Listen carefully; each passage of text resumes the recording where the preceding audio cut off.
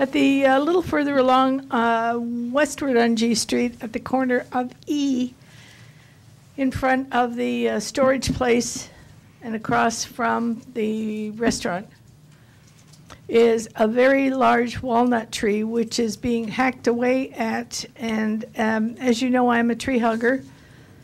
Uh, I wanted to bring to your attention that the city of Vancouver is redoing their. See, you always know these things. I, I'm just telling you what you already know.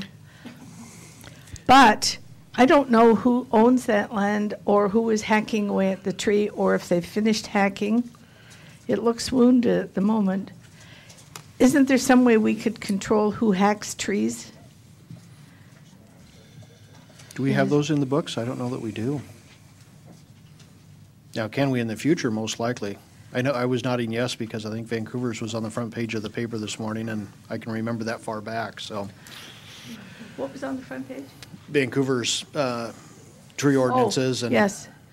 Well, anyway, should you be in that area, you might look up and see, please. Thank you. Michael?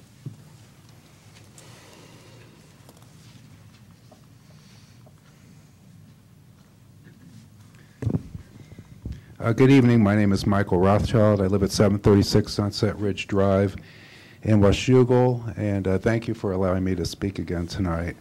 Uh, At our last meeting, city council meeting three weeks ago tonight, I sat and listened quietly. I didn't speak. I just listened uh, about the uh, drastic rate increases that we are going to be having for uh, water, sewer, and stormwater fees.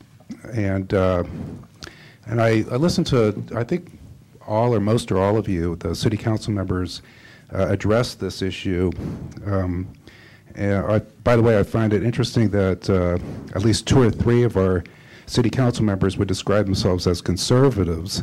And uh, I'm curious to know what uh, is conservative about drastically increasing a basic service rate for the residents of our city. Uh, I heard it described as a quote, adult thing to do.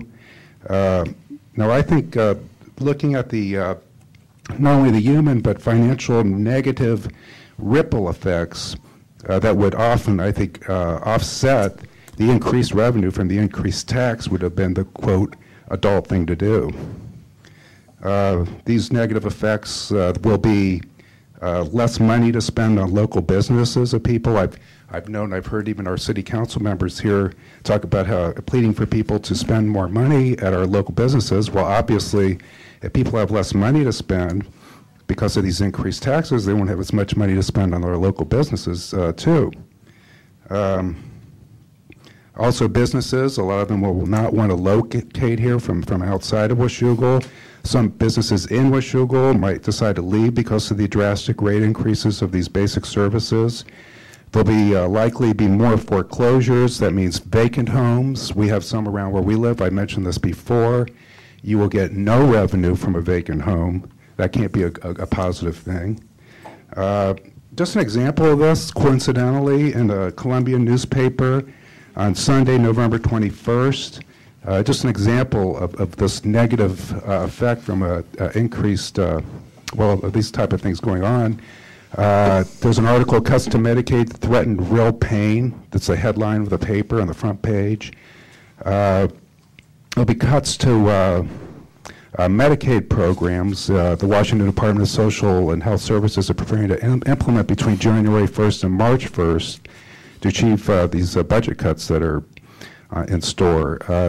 This is the state government, of course, and they'll, they'll eliminate coverage from outpatient prescription drugs to provide uh, provide by retail pharmacies an estimated 277,000 uh, clients effective March 1st. Uh, the impact of the decision will save the state about $39.4 million in the current budget year. Uh, the- But there will be a decline in health services and increase in costs associated with more intensive services required to treat more severely ill. A lot more people will be going to hospitals.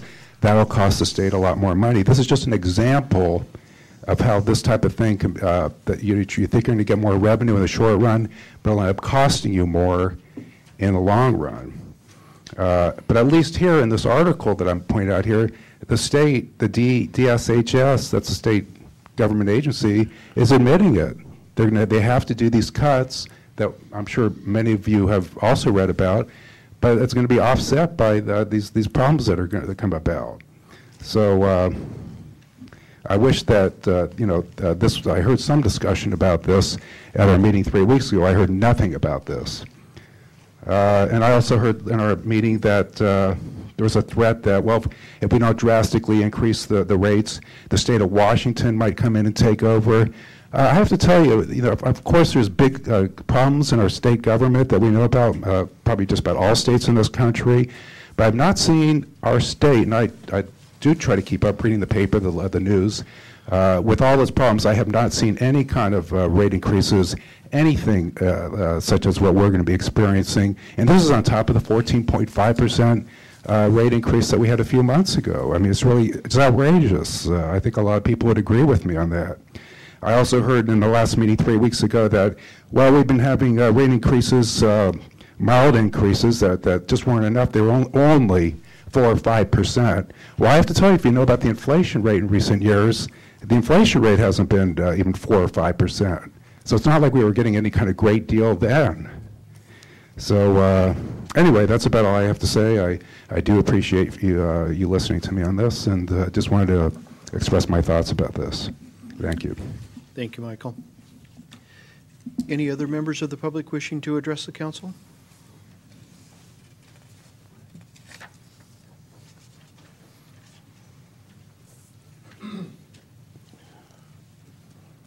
Larry Wagner, 627 20th Street. Um, I just wanted to touch on the budget item about the $150,000 for Camas Fire to maintain their uh, ambulance service in our city. Excuse me. You guys discussed at the planning meeting workshop that if you put it in as an amendment, then you guys can go back and revisit how it's administered and change, change it or opt not to do it. So I just want to urge you as a council to make it as an amendment and then go back and read your service agreement with Camas and see what the service agreement actually says about what they're to provide. Thanks. Thank you, Larry. Mitch?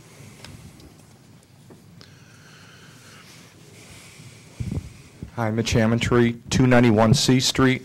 Does this come up at all, or do I? Um, Couple of things. Um, You know, I know most of you, uh, I respect you all, all your opinions. Um, A Couple of things that, that I'd like to discuss. First of all, I do have a concern about Highway 14. I I know that it's kind of late in the game, but there are a lot of concerns about, especially the crossing and across the, the the freeway there, uh, in the port, and also, you know, with the hotel. Uh, Some of the things I don't think, and I, maybe I didn't realize as well, is the fact that if you miss Union Street, you're going to have to go to 15th Street to come back around. Um, All the businesses are going to have to have their signs. I, I tried to call uh, the, the uh, Highway Department today to find out if in fact that's going to be the case, because in fact, my sign is going to be renewed this month. If in fact all of them are going to be at 15th Street, or all of them are going to be there by Union Street, and going 55 miles an hour, it's not like it was before where there was signals where people could see those signs. So I, I have a major concern about that. I think my builder, my landlord, should be more concerned uh, for the crossing. Um, Second of all, I've discussed this with uh, Dave Shoemaker. Uh, I don't know if everybody realizes, but as of January 1, the minimum wage is going up 11 cents an hour. First of all, we had the highest rate in this country before. Now it's going up another 11 cents.